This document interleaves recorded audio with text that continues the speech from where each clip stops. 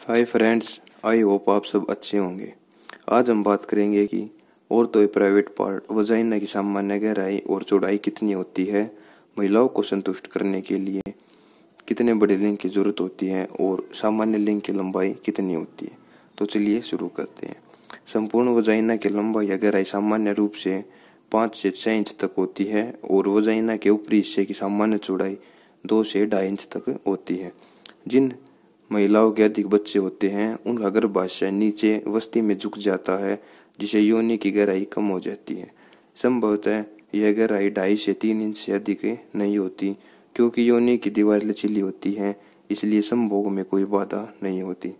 अब हम बात करेंगे कि महिला की संतुष्टि के लिए कितने बड़े लिंग की आवश्यकता होती है।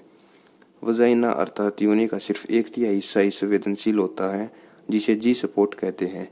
इसकी लंग लंबाई लगभग दो से ढाई इंच होती है। वजाइना के बाकी दो तिहाई भाग को लिंग की लंबाई से कोई प्रभाव नहीं पड़ता। अब आप खुद अनुमान लगा सकते हैं कि महिला की संतुष्टि के लिए लिंग कितना बड़ा होना चाहिए। इसके अलावा अधिकतर लोगों को लगता है कि उनका लिंग छोटा है और वे लिंग को बड़ा करने के लिए तरह तरह के तरीके अपनाते हैं। आपको जानकारी के लिए बता दें कि सामान्य लिंग की लंबाई चार से छः इंच की होती है, जो किसी महिला की संतुष्टि के लिए काफ़ी है।